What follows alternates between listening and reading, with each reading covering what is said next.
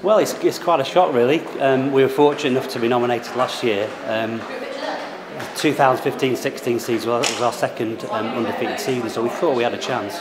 Um, we'd beaten one or two tough schools, um, We had a better seven season this year as well, so on the back of that, really, we thought we, we may be in with a shout. Obviously, we had a, quite a few boys come back from the previous year. Um, a lot of hard work goes into it. You know, we have a two-week pre-season, um, and from then on, the season goes on right to the, the start of April.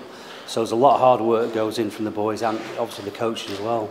It's obviously tough from the year before. We were lucky enough to be unbeaten um, season before. We, we managed to beat Sebra again. They're obviously big rivals of ours. Um, The game she was at home and uh, we managed to play in uh, rather unsalubrious conditions but obviously play into our hands. Um, but obviously that was the big result for us this season. We've got uh, our head of rugby, Alec Tranale, is in, in, in my opinion, is, is very, very much underrated. He's got a real eye for a player. He's meticulous in his preparation, as is our forwards coach, um, Johnny Rodham, who used to play for Sale and Harlequins.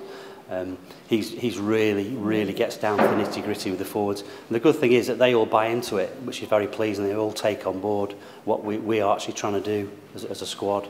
We do manage to, to, um, to bring in um, you know, lads come to the school for, for rugby, particularly at a younger age. So hopefully now that we've actually run a national award, that obviously put us on the map even more so.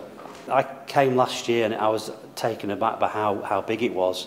Um, obviously, Zeus Events have, have taken it on board and tried to really push it with the sponsors as well, which is great because obviously every category is sponsored, which is fantastic. You know, without their support at the grassroots level, it wouldn't have the, the chance to grow.